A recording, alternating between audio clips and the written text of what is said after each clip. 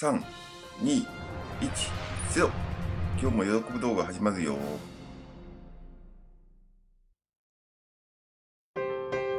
7月29日の朝。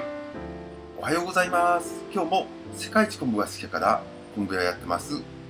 店長の松下幸一郎が皆様の料理の味を劇的に美味しくできるお手伝いができるように頑張ってます。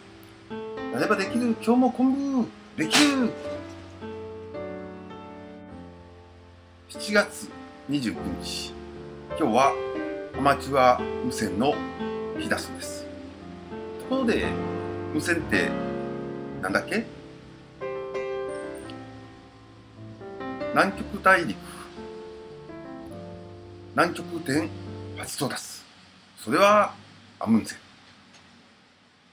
わかったマイペースが一番ですよね。それは無理せん。そんなことはどうでもいいのですが、今日も頑張ってまいります。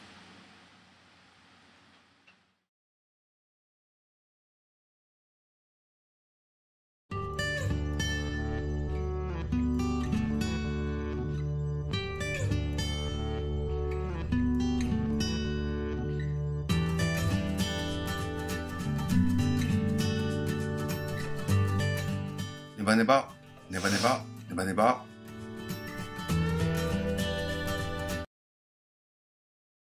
ボーディンの独り言、店長って昨日電車乗り過ごしたらしい。またタクシー会社の業績に貢献してしまいました。おしまい。